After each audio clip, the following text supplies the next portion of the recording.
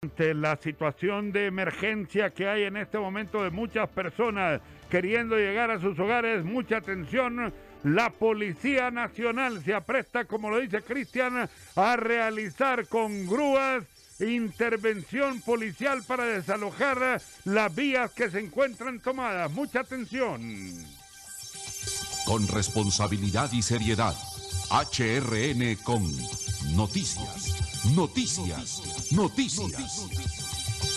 En este momento la Policía Nacional llega con antimotines para desalojar a las personas que mantienen en este momento tomadas las carreteras de las unidades del transporte, tanto urbano, interurbano, transporte de carga, Neri, porque ya en breve estarían saliendo de sus trabajos la Y- población hondureña. En efecto, y escuchamos a uno de los transportistas que tienen tomada a la altura del Boulevard Fuerzas Armadas y han sido claros, están esperando que los dirigentes del transporte, menciónelo, usted los conoce muy bien, de Jorge Lanza, Jorge ¿Quién Lanza, más? también está Rigoberto Galo, eh, don Leonel Zúñiga, en este caso de la zona oriental, de la zona noroccidental, está don Hetman Tinoco también, están... eh, esperando el llamado de ellos Edgardo. para que les digan que suspendan, suspendan este paro de transporte y las personas puedan circular. Y hay un ofrecimiento ya del gobierno de mil millones de lempiras. Solo esta tarde, hace unos momentos,